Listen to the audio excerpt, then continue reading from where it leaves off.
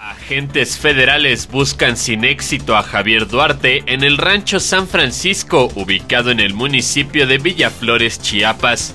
Secretario de Gobernación Miguel Ángel Osorio Chong atribuye a la falta de voluntad de los gobiernos estatales para coordinarse con la federación la responsabilidad de la violencia que vive el país.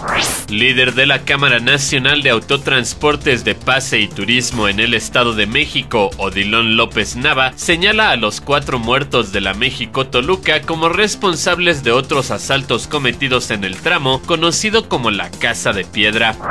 PRD investiga a los senadores Luis Sánchez y Fernando Mayans por hacer comentarios sarcásticos sobre la Ley General de Trata durante una transmisión del canal del Congreso.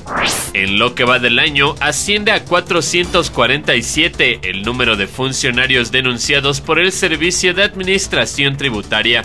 Informó para el punto crítico Diego Rivero.